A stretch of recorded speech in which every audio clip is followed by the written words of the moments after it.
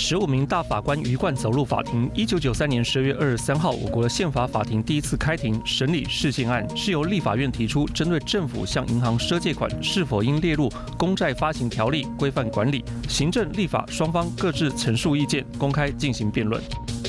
台东县当地的布农族以舞蹈和歌声来庆祝这个值得纪念的日子。一九九八年十二月二十三号，新武吕溪鱼类保护区在台东县海端乡正式成立。之所以被农委会核定成为国家级保护区，海端乡的布农族居民费尽心血，首先封闭新武吕溪三年，让各种保育稀有的鱼类重现生机。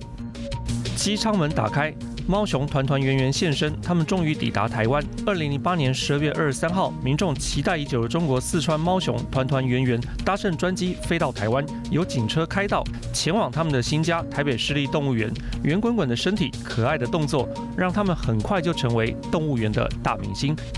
华视新闻木下翠、彭冠霖整理报道。